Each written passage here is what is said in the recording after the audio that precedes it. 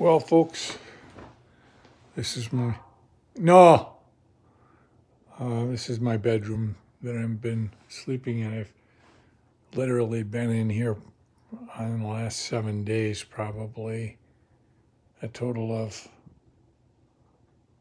six and a half days, and always on this bed. I haven't really gotten up other than to go to the doctor for my surgery and to um, go into the bathroom with Linda's help. Um, it's quarter after 12 on Sunday, second Sunday of uh, September.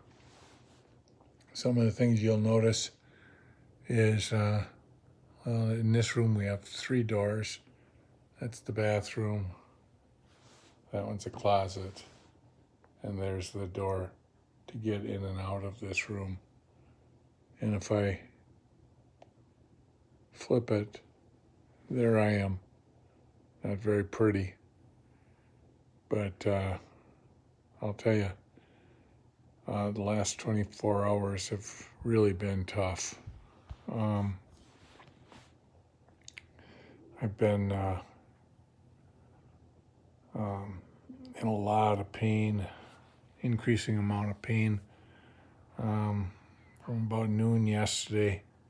And then last night around 10 o'clock, it was just um, unbearable.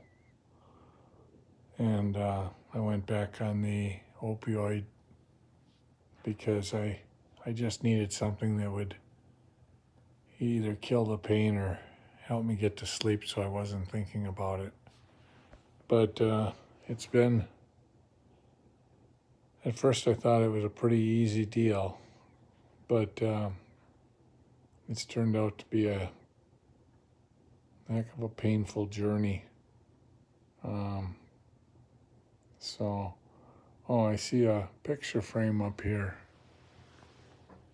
Uh, you see that?